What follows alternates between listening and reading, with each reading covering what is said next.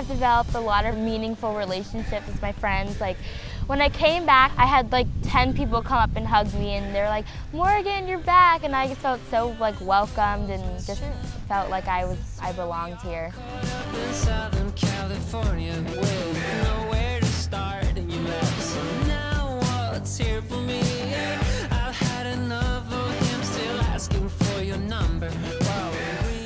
Coaches here are amazing. They're they have their own personality. If someone sees you that you're struggling a little bit, they just support you in any way that they can and they try and give you advice and just make you feel so much better about the fact that you can't do something. She takes the information and the skill and she puts so much more to it. Let's say you're doing a simple pullback, she says why this is important and where you should use it on the field.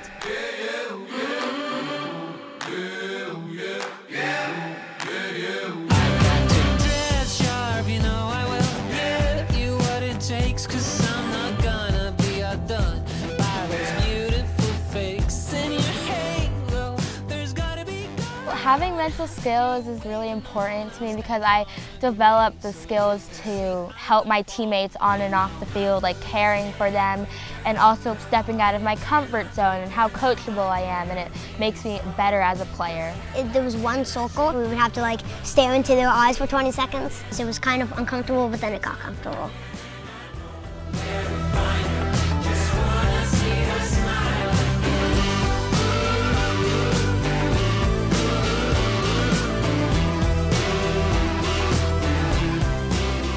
There's so many different options and one of the things I was looking for in a camp was to be able to sometimes get away from soccer and try something new. Like last year I tried yoga and I really enjoyed it.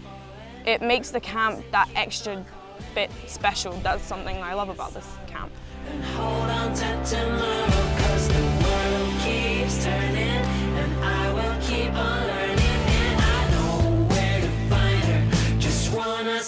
smile